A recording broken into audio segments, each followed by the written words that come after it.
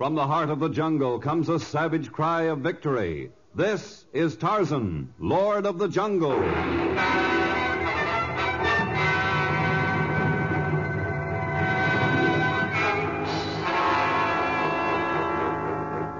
From the black core of dark Africa, land of enchantment, mystery, and violence, comes one of the most colorful figures of all time, transcribed from the immortal pen of Edgar Rice Burroughs. Tarzan, the bronzed white son of the jungle. And now, in the very words of Mr. Burroughs, the story of First Prize Death.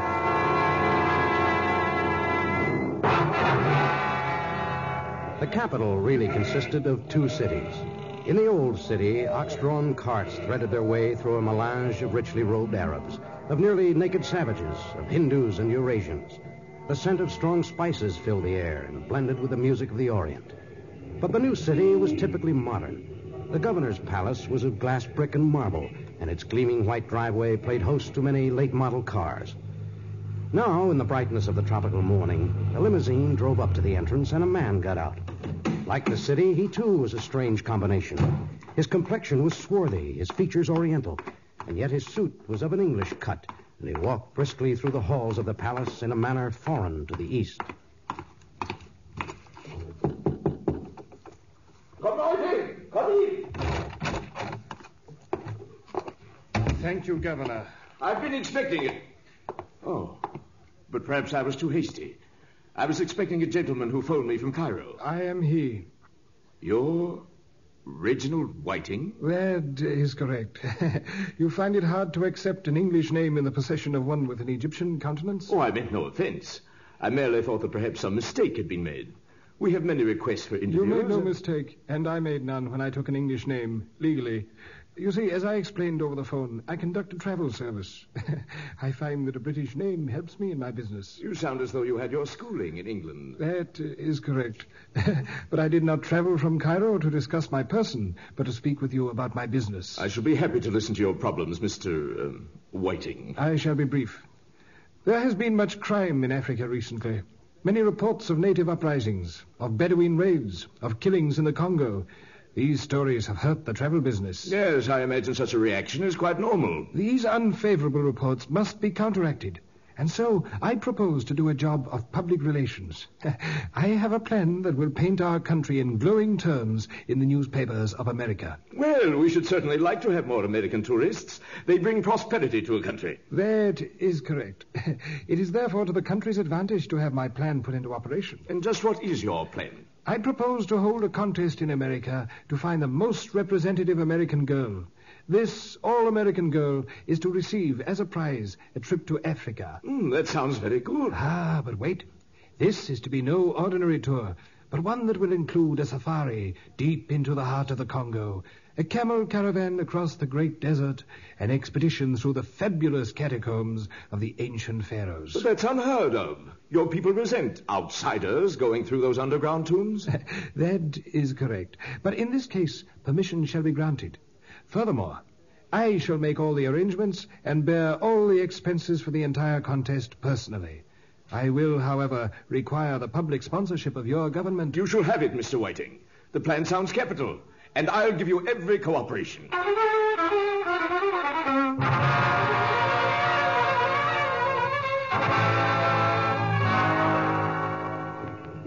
Believe me, Tarzan, it was like manna from heaven. This gentleman is bearing the entire cost of the contest and the prize himself? Precisely.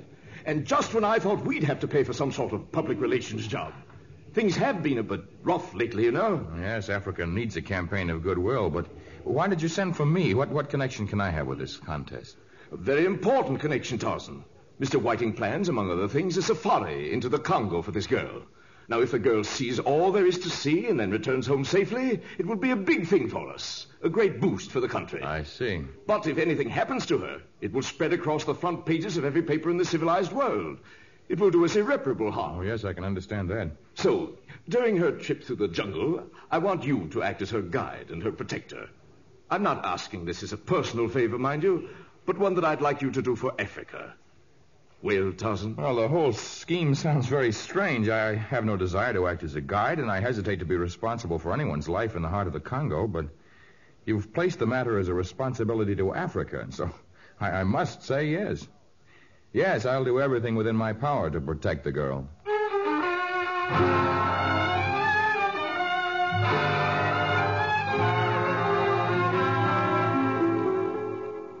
I cannot see the need for this subterfuge, Mr. Whiting. But, Holy One, one cannot go to America, kidnap a girl, and bring her thousands of miles against her will. This is the 20th century. I know nothing of the modern age.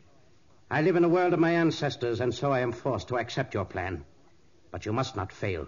The girl must be delivered here in accordance with the Holy Word. I shall not fail, Holy One. Your arrangements are now completed? That is correct. A message arrived this morning assuring me we now have not only the sponsorship of the governor of the province, but also that of the Lord of the Jungle. Ah, you have done well, servant.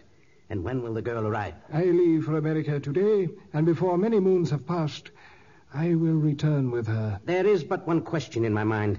How will you manage to have the right girl win the contest? it shall be arranged, Holy One, and without suspicion. She will have not the slightest inkling that the contest's first prize will be death deep in the catacombs of the pharaohs.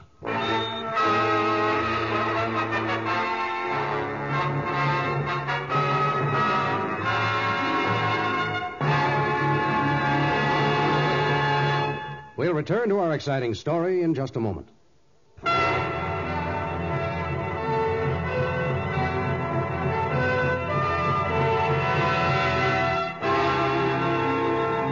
You remember the contest to select the All American Girl. It received considerable publicity on the radio, in the daily newspaper, and in at least one national picture magazine. The details of the first prize had stimulated much interest. A luxury cruise to Africa, a reception by the governor, a colorful safari through the Congo, an exciting caravan across the desert, a thrilling expedition through the mysterious catacombs of the pharaohs. A naive American public eagerly awaited the decision of Mr. Whiting's hand-picked judges. But the winner was informed in advance by the astute Mr. Whiting himself. But, Mr. Whiting, there must be some mistake. I didn't even enter the contest. Oh, we received your entry, Miss Johnson. Perhaps some admirer sent in your picture and your qualifications. Well, I can't imagine who could have done it. Oh, but that's not important. The important thing is that you have been selected from among all of those girls. Are you not excited? Oh, of course I'm excited. The trip sounds super. Just imagine sailing to. Oh, but it hardly seems fair for me to. Were you to decline the honor, it would be most unfair to the judges who spent many weeks poring over the pictures and the statistics. Oh, but all the other girls, probably hundreds of them, have been dreaming. When the results are published tomorrow, you will see that the other girls have received many fine prizes, including wonderful trips to other countries. But you, my dear Peggy, have won the first prize.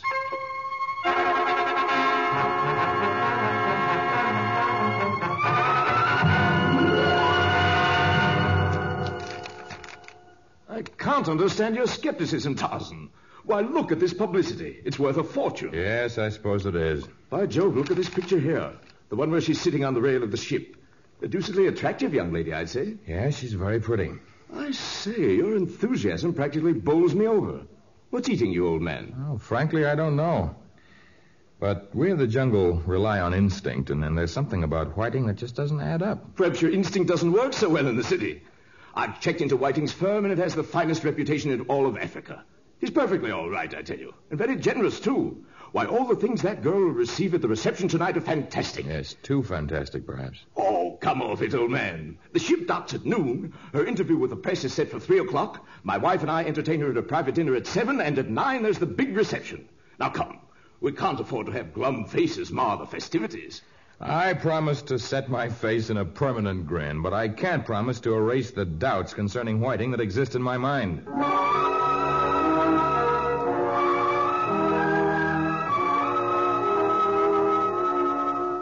Tarzan's doubts would have been multiplied and the governor's complacency shattered had they witnessed Mr. Whiting's hurried departure from the ship upon its arrival and his speedy journey to his secret meeting place. The stone building, lost in the maze of the old city, was far from Egypt, but the meeting was important, and many of the high priests of the cult had come to hear the report of Mr. Whiting.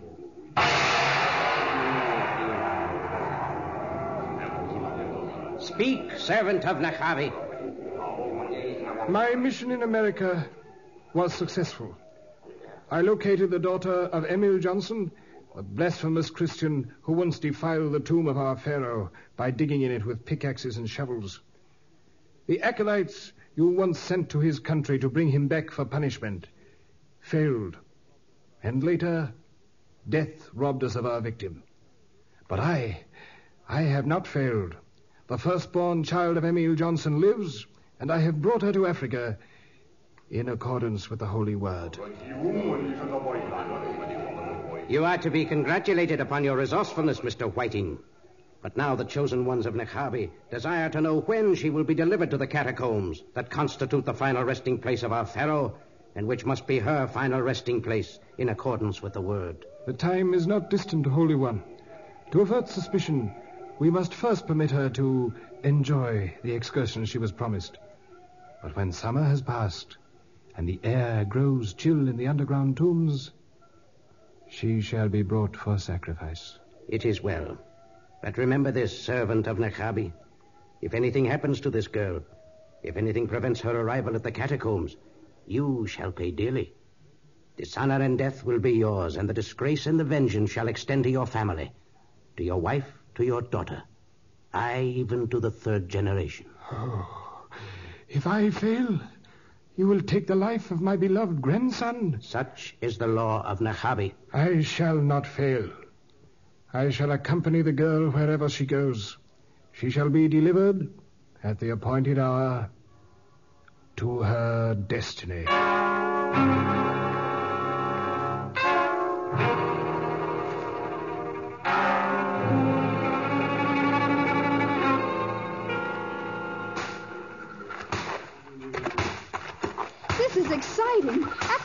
Actually our way through the jungle, and our porters are all so savage looking. Oh, it's wonderful.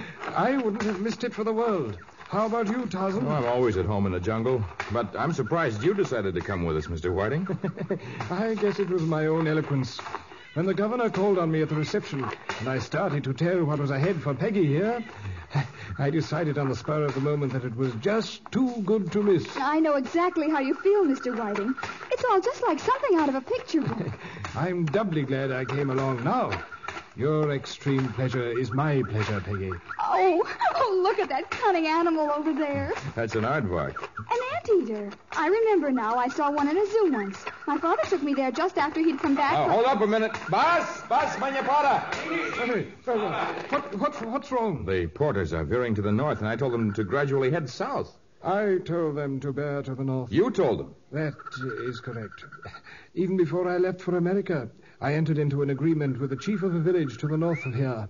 He plans to hold dances and native feastings to entertain our fair visitor. Oh, doesn't it sound simply super? I saw a This picture village once. to the north of here, it's the village of the Kumaniko tribe, isn't it? That uh, is correct. I understand they have some very colorful ceremonies. Very colorful and blood-curdling. Are they cannibals? They're an ugly race and one whose chief has violated every law of the jungle. Our paths have crossed in the past, and I've I've found them a people without honor. Oh, I'm afraid you're taking this all a bit too seriously, Tarzan. Honestly, if I believed any danger existed, I wouldn't take Peggy to their village. There's always the threat of danger among the Kumanikos. Well, I, I won't make an issue of it. One native tribe's pretty much like another. Have you made arrangements with some other tribe? No, I've made no special arrangements, but I'm sure Peggy will be content to see one of the tribes just as it is, without any prearranged show being put on for her. Oh, no, I'd much rather go where they're putting on special dances and feastings. It sounds simply scrumptious to me. Oh, then it's decided. And I think we've wasted enough time. Let's get going, Manyapara!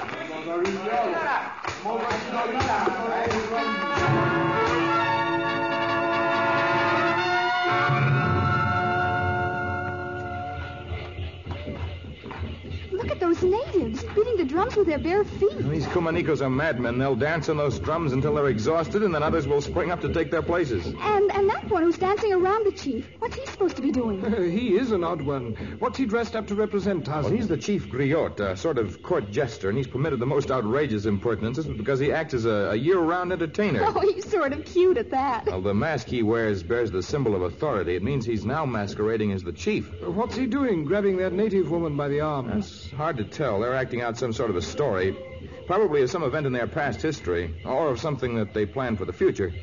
The uh, the king, represented by the griot, is leading a woman, perhaps uh, a bride the king desires, into a cave. You see, now he's, he's pretending to seal the cave with a rock. And he's pretending to, to strike the woman over the head to show his mastery of her. They never saw anything like this back home. What are the other two dancers doing? The ones who are painted white. I don't know who they're supposed to represent, but they're obviously enemies of the king. Oh, you see, the griot is pretending to fight them. It hardly looks like pretending. Oh, look, the enemies have fallen. when the griot makes up a story, he sees to it that the king is always victorious. It's sort of a life insurance for him.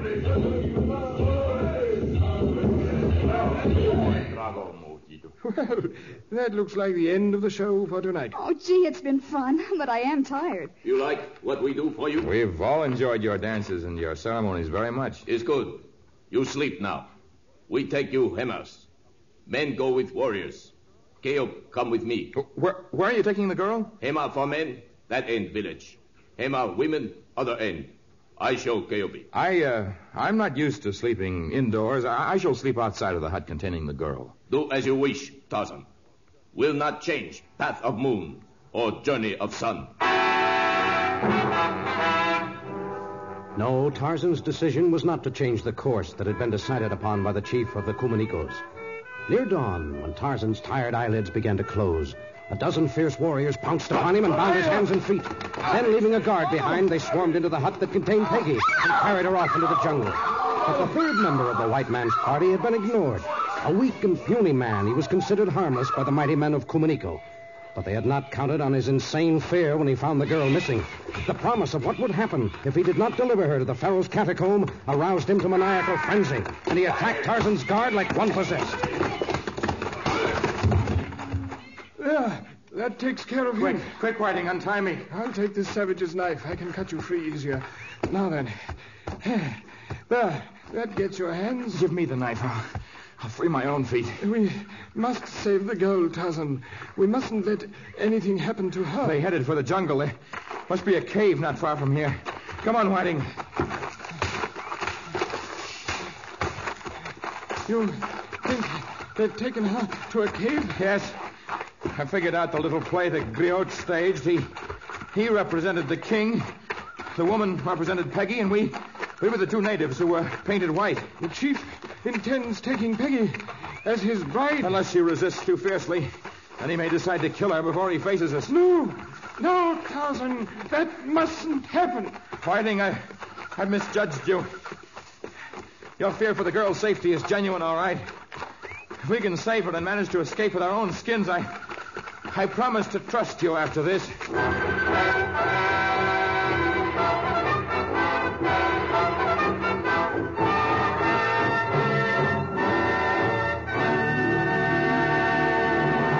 In just a moment, the exciting conclusion of First Prize Death.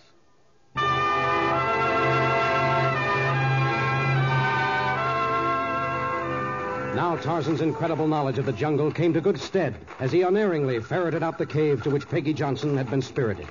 Aided by the fear-stimulated Whiting, who fought like a dozen men, Tarzan waded into the warriors of Kumaniko. The savages fought with aboriginal fury, but the combination of Whiting and the mighty Tarzan was too much for them. Before reinforcements could be summoned from the village, Tarzan had stormed his way into the cave, secured the girl, and slung her over his shoulder. Dragging Whiting by one arm, he made for the upper level, and within a short time they had reached safe territory. Well, Mr. Whiting, we made it. That we did, my boy. It's just the most thrilling thing that ever happened to me. And look at us now, way up in the trees. You're all right? He, he didn't hurt you? The chief of the Kuman whatchamacallit? Oh, I didn't exactly enjoy being in that cave with him.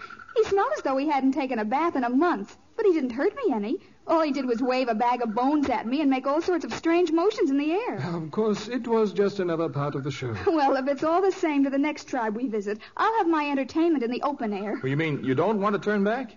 Turn back? Don't be a goon. I never had such a dreamy time in my life.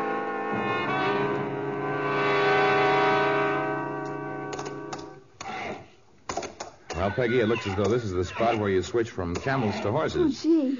I presume that man ahead with the horses is the one you made arrangements to meet, Mr. Whiting? That is correct. And I'd best see him about final details concerning Peggy and my journey to Cairo. See you before you leave us, Tarzan. Of course. Gosh, Tarzan, it's been the dreamiest summer of my whole life. I'll, I'll miss you. I'll miss miss you too, Peggy.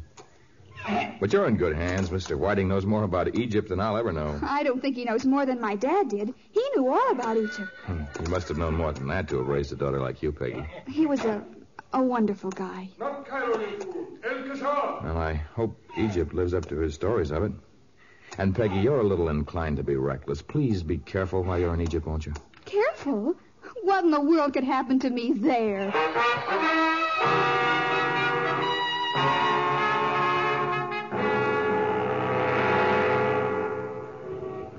So, everything came out all right, eh, Tarzan? Well, I'll have to admit I enjoyed it. Peggy's a wonderful girl, and I was all wrong about Mr. Whiting. I knew it. I checked his firm, and it's one of the biggest. Now, they should have arrived in Cairo yesterday, eh? Well, if they were on schedule, and Mr. Whiting's a very punctual man. Well, it's a great relief to know that... You will pardon my interruption, Governor.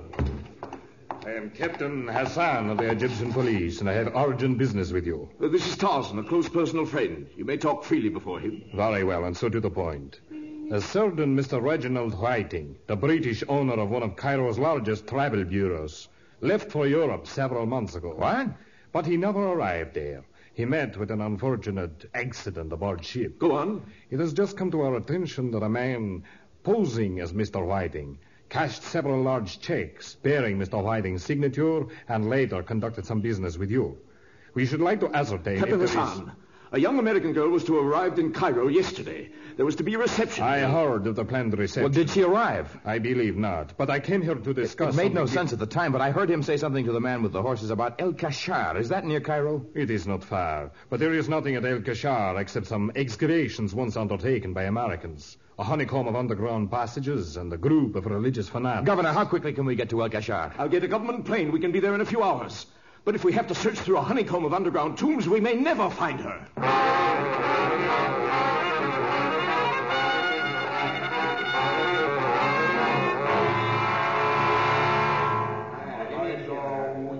But it was I who brought her here, Holy One. Eh, You have done well, and you have been rewarded by seeing her bound and gagged. But now she lies on the sacrificial altar, and the ceremonies must soon begin. It's my right to witness the ceremonies. I risk my life. Silence!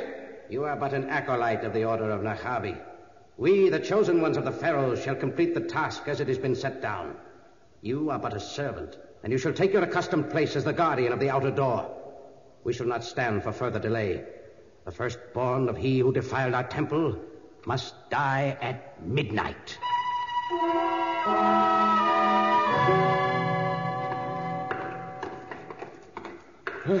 I hope Captain Hassan and his men have fared better than we have. We must have been through hundreds of these underground passages and no sign of her. Those monks, or whatever they were, wouldn't let us in half of the catacombs. We should have broken down the doors. It's taken us hours without breaking down stone doors all over El Kashar.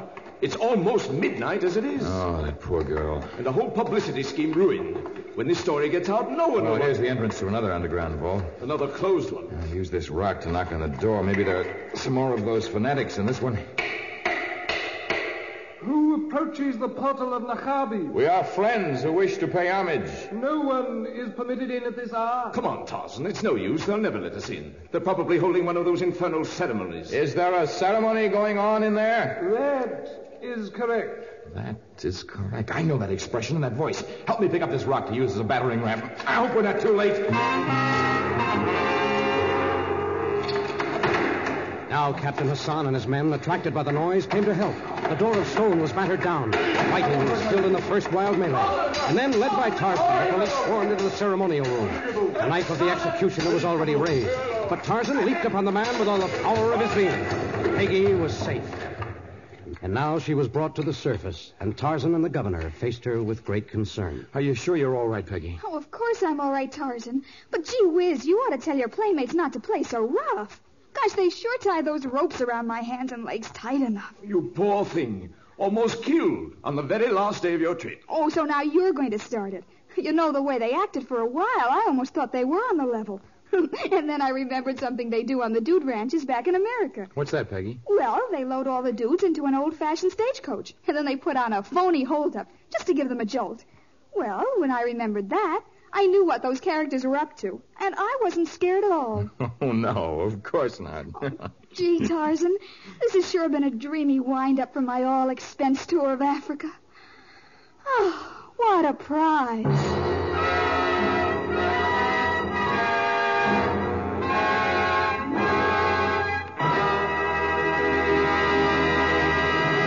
In just a moment, a preview of our next exciting story of Tarzan.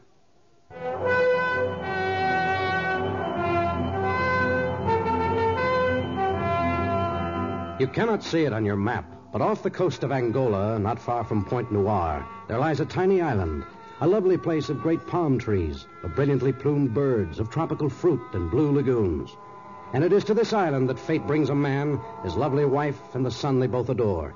A strange setting indeed for violence, and a fear that grows into stark terror.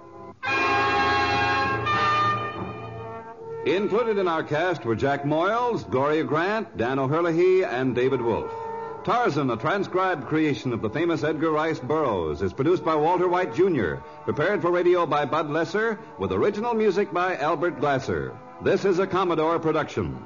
Listen to our next story, Paradise Island, another thrilling episode of The Lord of the Jungle.